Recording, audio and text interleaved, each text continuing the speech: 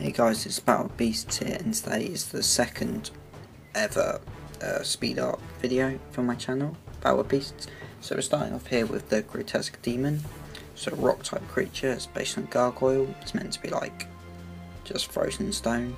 The face has come off a bit cringy from what I want it to be, and as you can see, that hand, it might be giving me a bit of trouble, but hands I eventually got them how I wanted them. Hands I find are one of the most difficult things to draw. I'm outlining it now with a fine marker pen.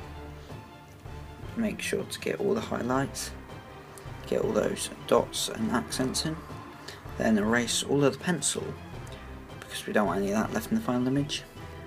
Then I'm using my Copic markers, just checking it's right colour and then going for a stone grey kind of colour as you can see there's kind of a colour difference on the body but that'll be edited out in post. So the wings are getting filled in. It's all the same colour because it's meant to be frozen from one type of stone. Uh, so next we have the card Doombra. This is a fiend type creature in set 2 based on not really sure punk bully I don't know. So it's quite a standard one. It's just a little fat person with black skin and like a collar with like spikes in it.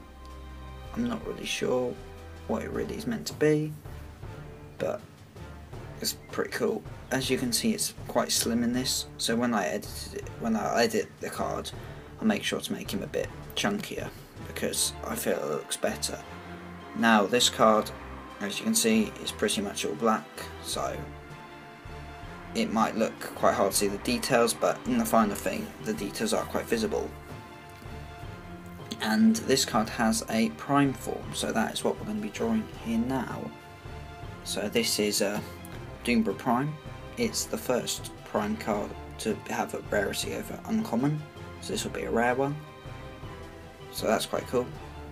This one's pretty cool. It took me a while to get the tail just right because it was in the background, like I want it to be visible but not to be taken the image. So we're going over the highlights, then use a slightly thinner pen for the finer details. Erasing it, then using the greys to highlight the spikes and the toes. Then going over it with the nice black, just to give it quite a dark persona over the face. And that's it. I know it's quite a short video, but I want to show you the process of how I make these cards. And so, like, comment, subscribe, and remember to battle with beasts.